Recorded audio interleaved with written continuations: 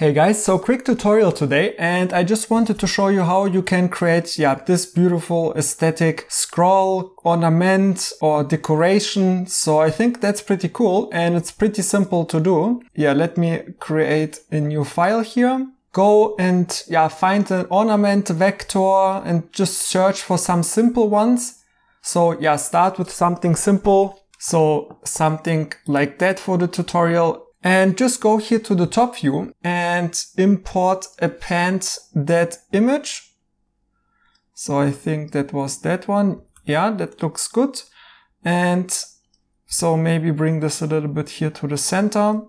And also I just want to bring it down a little bit and press M, bring it to the front and make it a little bit transparent and disable here the selection in the viewport so we can just work.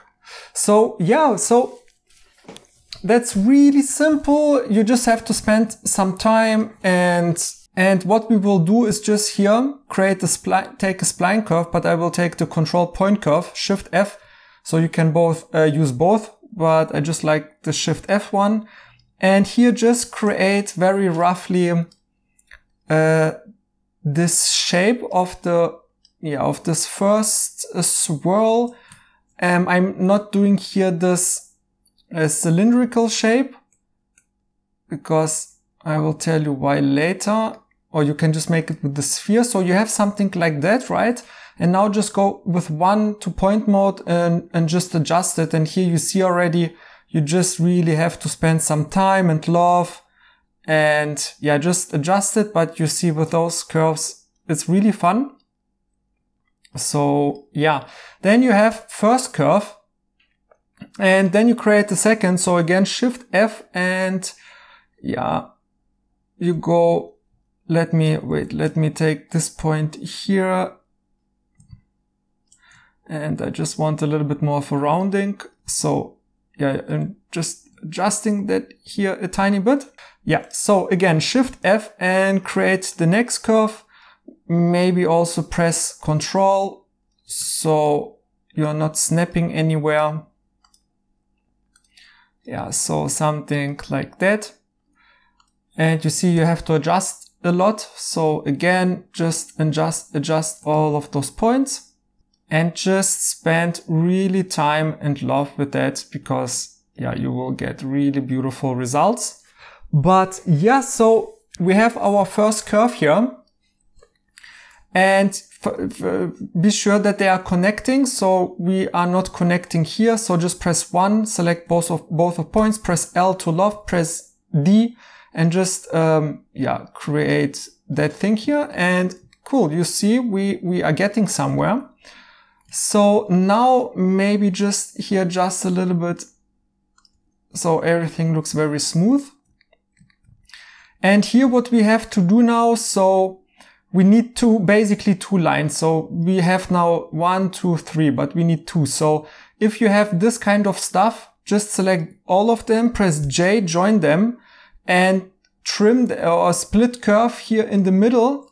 And again, select that curve and Alt J and just join those two points, uh, edges and those two edges. So you have here, you see one edge and the second edge. And now what you want to do is, yeah, just create more curves. So again, shift F and we will just create a few more curves. And yeah, I will do it very simple here. You can create it here with tangency, but I'm not doing that right now. So again, just adjust it a little bit and create a second one and, and this curve will just go here. You don't have to close it. This is also important.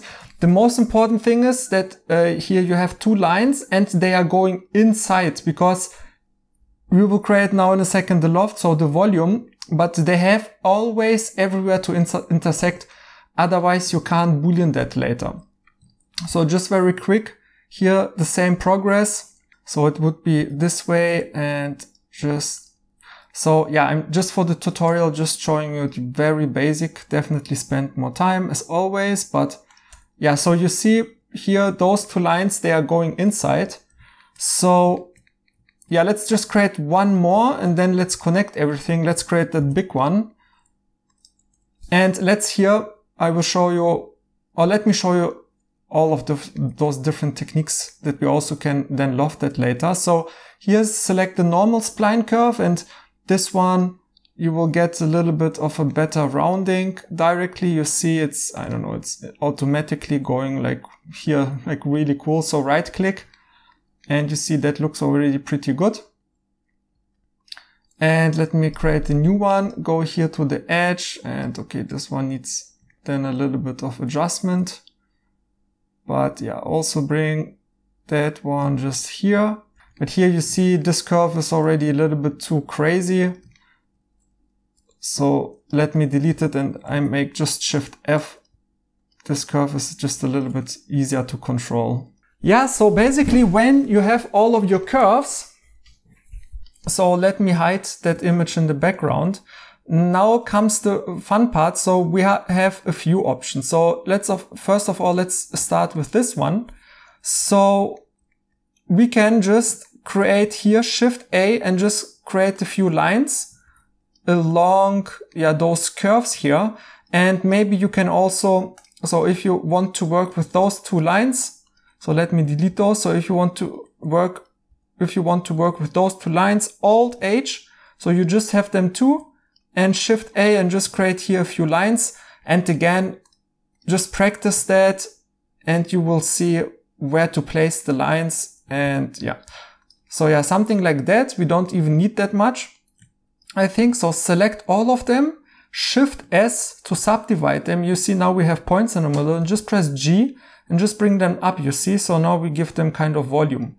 And yeah, here now you can just adjust this point because it's going to the end. It's not so high. And you see where it's thicker, it needs a little bit more of volume. So yeah, it's really for you guys who will like this kind of ornaments and scrolls, you can really dig into that. So now when we have everything, just select this line and this line, shift, uh, press L to loft.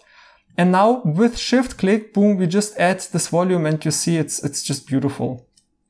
Yeah, it's amazing. Look, really cool and it looks really smooth. And yeah, there are, yeah, I don't know, like 1 million possibilities. Uh, let me show you one more option. So, which works really Cool. So, so let me hide everything that we used already. So those one we can hide for now. And let me show you one more uh, thing that we can do. You don't have so much control, but yeah, may maybe you might use that as well. So shift A and connect the endpoints where they are not connected. Shift, yeah, S again and bring this point here to the top and shift A again and connect again those points. So now select both of those curves, press J. So here you see you have now a flat surface and select that area. And we can now sweep, shift that one and shift that one and again shift that one. Yeah, cool. And bam, you see, and we are getting another thing and we have even, yeah, kind of a flow and yeah, so where it's thinner, it's, it's not so high and where it's getting thicker, it's going higher. So you can really play with that all stuff around. So I like that. And also those curves that we used, maybe just hide them. So yeah, let's unhide all. So yeah, I will just select all of those curves, bring that here in my hidden group. Perfect. So let's do this one here now. So select that, hide it, and yeah, here just basically let's try that. Shift S, press G, bring that up a little bit and select those two and with loft and yeah, you see it works. Hmm, cool. Yeah, I like this a lot. So press OK, hide those curves, Alt H and okay, yeah, this is here a little bit messed up, but yeah, it's fine for the tutorial. And yeah, just here again, just here two lines, Shift S, G, Z, bring that up, right click, loft and add this point. Yeah, that looks really cool. So perfect. Now we have to close everything. So again, select all of those curves and hide them. And let's start with, so we need now, uh, so we want to add fillets and all that stuff, you know, so we need solids. So select this piece, Alt H again. And here it's very simple. So you can just select it and it will just close it with patch holes. yeah, it's, it's, it's amazing. And maybe even I didn't do that before. So maybe we can add here a fillet. Yeah, let's just try it now. Yeah, so Alt H and let's hide that. And yeah, I think maybe it would be better not to give fillets, but yeah, just let's try. So yeah, this one is also, oh, this one is already solid if you will sweep it. And basically we are just left with this one. And here, yeah, we can also just close it with patch holes. So yeah, and I think we have somewhere one more sheet. Yeah, so this one. Okay. Uh, this one as well. So just patch holes. Okay, that was everything very simple. So let's try here to give a little fillet. Yeah, that works as well. Uh, let's try here.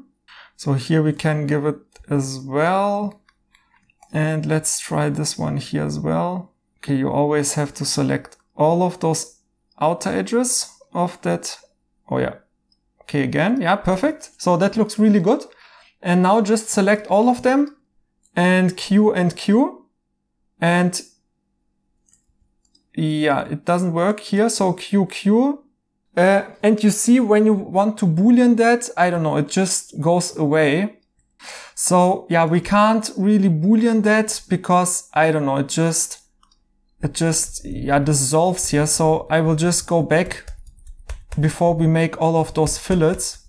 So yeah, I went back before I was give, giving fillets because I don't know, somehow it doesn't work.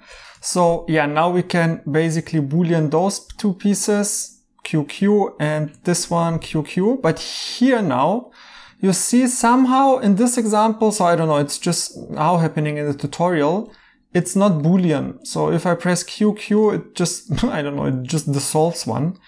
And yeah, I just tried to figure something out and something a workaround. So maybe you can play a little bit around with the position. So yeah, but you see it just doesn't work. But it works if you select both of them, press Q and shift Q for slice. I don't know why it's now boolean together. So if you press OK, you get another piece here, but you see now it has a boolean. So super weird. So just select that extra piece and delete it. And also this extra piece and also delete it. So the slice, but now you have here one boolean thing and now you can even fillet that. So yeah, really just a little bit of a brain exercise. Just trying around and playing around with different shapes and different boolean operations. And yeah, here you give, can give some fillets you get this really aesthetical flow thing. And obviously, yeah, now you can create more and add some more details and really play around. And if you enjoy and love plasticity as much as I do, check out first link in the description or nikitakapustin.com here on courses I have amazing plasticity courses where you will learn so many different techniques and workflows and I explain everything down to the details. So if you're a beginner, this is exactly what you need to start your plasticity journey. So that was it. Leave a like and subscribe so you don't miss my other videos and see you in the next one. Bye.